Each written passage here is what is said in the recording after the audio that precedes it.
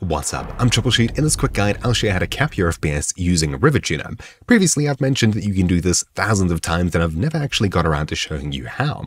So in this video, I'll be doing exactly that. Why would you cap your FPS with something like RivaTuner? Well, it's going to give you a better feeling experience than using an in-game FPS cap. Your FPS should be more stable and you'll get the usual benefits of capping your FPS, like less screen tearing if you're getting that, possibly better input latency in some games, and of course your PC will use electricity, use less battery, and generate less heat, meaning your components will last longer, etc, etc. So, RivaTuner, if you don't already have it installed, you'll find a link to download it below. Simply just choose one of these two download buttons. It doesn't really matter, they're not ads. The first one's their main server, I think. It should be a bit of a faster download, and the second one's a backup, I guess. Anyways, open this up when it's done downloading, and you'll find the installer inside of it. Simply just run the installer and click through it. It's a simple, run-of-the-mill usual installation process. Then simply untick the README, finish, and open up RivaTuner. So in your start menu, search for RIVA, and you'll find the RivaTuner Statistics server. When you open it and hit yes, you're not going to see anything. It's running, but it's just down here in your start bar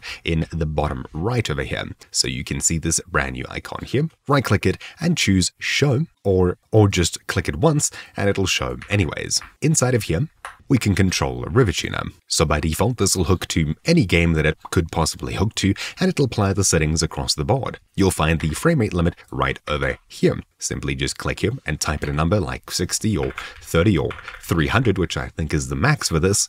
And once you hit enter, that's it. Your FPS is now capped in whatever program this can hook into. You can change the detection level if your game's not being found to high or one of the other options up here. And you can even turn off stealth mode, which may make it more incompatible with certain anti-cheats. It's good to just leave the top settings as is and you'll be fine in most, if not all cases. And once you get in game, you should see your FPS is now capped in the top left if you have something like the Steam overlay turned on, like I do here. And of course, if we pull up RivaTuner and type in 120, hit enter, and tab back in, we're now getting a solid 120 FPS. That's what it's been capped to. Then if you'd like the FPS counter to show, for example, just make sure that show own statistics is turned on as well, and you'll see the FPS counter appears just like that. I'm pretty sure that by default, the FPS counter is turned off as things like MSI Afterburner and other apps that use RivaTuner add their own overlay on top of it, so that's why it's a separate option down here, just so it's not on by default. Anyways, that's it. You now know how to cap your FPS,